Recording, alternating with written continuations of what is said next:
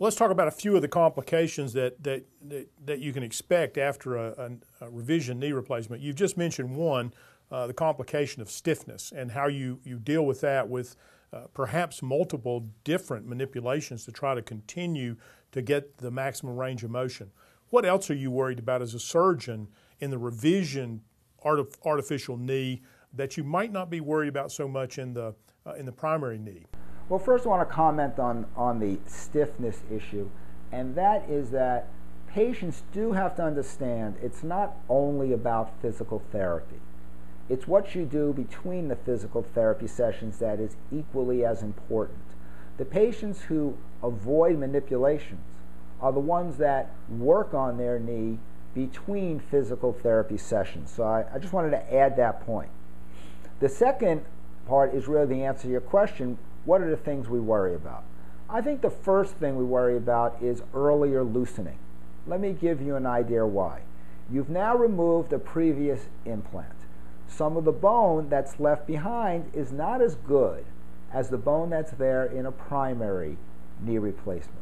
So you're now fixing metal to a base that's not quite as juicy, shall we say, not quite as ready for an implant as a primary. So the fixation of a revision knee replacement is something that may not be as strong. Now, a good surgeon compensates by adding what are called stems that go up the center of the bone to help augment, to help add to the fixation. But we worry about loosening of the metal to the bone a lot more in a revision knee replacement. So that is the, the primary mechanical thing we worry about. The non-mechanical thing, of course, is something we've talked about is infection. Very careful about wound infections, problems with wound healing, and problems with early infections within the first two to three months due to the fact that this is a revision knee, much more traumatic surgery, and for reasons that are not fully clear, are definitely more susceptible, as we talked about, to getting infection. Other things that could happen, such as blood clots, um, called DVTs, deep vein thrombosis, we worry about them in primaries as well as in revisions, and I think we have a similar monitoring related to that. Uh, and the last thing we worry about, which is a complication which many patients don't think of as a complication, but I do, it's a complication of call, called I am not satisfied with the result. You can get a patient who has a revision, the motion looks pretty good, the x-rays look very good, but they're not satisfied with the result. It's maybe a little bit stiffness, a little bit of achiness, a little bit of pain that can't be explained through any mechanical thing. And I find that is much higher in a revision than in a primary knee replacement. And a patient has to expect it to not be exactly like the last. It's not like replacing an engine in a car, which should give you the same performance as the previous engine. What is left behind when you remove a previous knee replacement does not allow, with the associated scar, for the same quality of long-term result. I think that's, that's an excellent point. I think that, that it sounds like you make you make a, a, great effort to try and make sure that the patient understands that before they go through this procedure. So it sounds like your patients are already, uh, what I could say is, is probably have realistic expectations before they go into this procedure and understand that, that they may not want to expect the same result that they got from the first uh, artificial knee, the primary artificial knee. So, so thank you for, for going through that. I guess the last thing that I would like to ask you, and that is, you know, we've talked about the revision not being as good as the primary. What about how long it lasts? How long does a primary, how long can you expect a, a, a revision total knee replacement to last when compared to a primary? You know, the longevity, which is the amount of time an implant lasts, depends on a number of factors. It depends on the patient's weight, the patient's activity level, the quality of the metal and the plastic. So let's look at someone who had a primary knee replacement, let's just say 12 years ago, and now needs one this year in 2010. Let's compare a couple of the features. Number one, we've had a lot of advances in improved plastics and what are called the bearing surfaces. So even a primary today should last many more years than a primary put in 12 years ago because the plastic and the metal bearing surfaces have seen a lot of improvements. The second thing is that in a revision, the patient is older. And though not always a rule, if someone's 12, 15 years older, they may be a little less active. So if we originally replaced the first one at 62, now 12 years later, the patient is 74. They may not be as active to wear it out. So if you add the improved plastic and metal bearing surface with the less activity, that part, I'm confident in a revision, should last longer than a primary for those two practical reasons.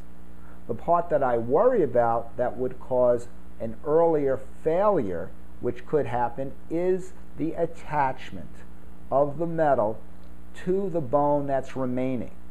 If that doesn't fail, then a primary and a revision knee replacement if they had the same metal and plastic used and the same activity level of the patient, should last the same amount of time.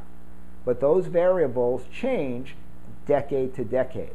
So I am confident that a well done revision in someone who has good enough bone to take the implant should last as long, and at least by today's standards, due to the improved metal and plastic through advances by industry and engineering, should maybe even last longer, at least from the plastic point of view.